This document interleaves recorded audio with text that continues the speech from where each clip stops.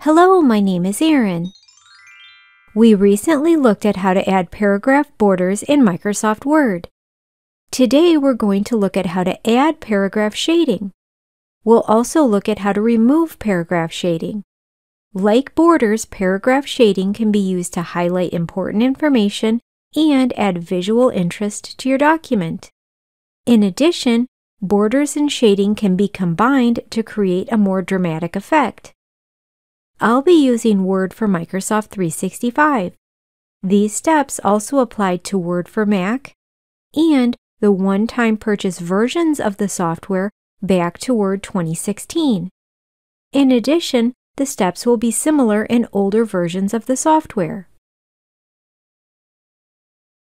To begin, select the paragraph or paragraphs to which you want to add the shading.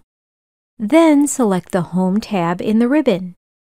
From there, select the Shading menu arrow. Avoid selecting the Shading button itself because it will automatically apply the most recently used color to your selected paragraph. Next, select a color from the Shading drop-down menu. For additional options, select More Colors. When the Colors dialog box appears, select a standard color. Or select the Custom tab where you can click an area in the color palette and then use the slider on the right to modify the saturation and hue. Word for Mac users have more palette options, so they should explore the Colors dialog box.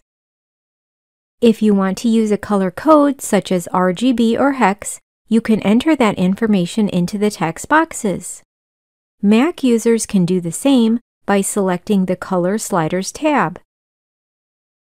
When you're finished, select the OK button. The new shading should be applied to your paragraph.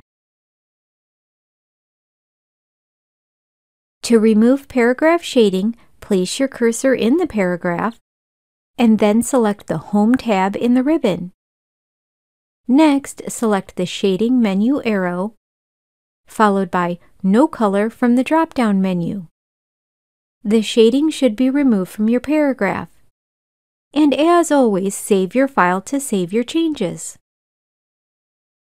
For more Microsoft Word tutorials, please see my playlists, How to Use Microsoft Word and How to Use Word for Mac, where you'll find many related videos such as how to insert and remove page borders in Microsoft Word and how to start page numbers on a specific page in Microsoft Word. All the resources mentioned today are linked in the description box below, along with my website, erinwrightwriting.com, which shows all the steps we just performed with images. Feel free to leave me a comment if there's a specific topic that you'd like me to talk about in the future. And please subscribe to my channel so you don't miss upcoming tutorials. And give this video a thumbs up if you found it helpful. Thank you so much for watching.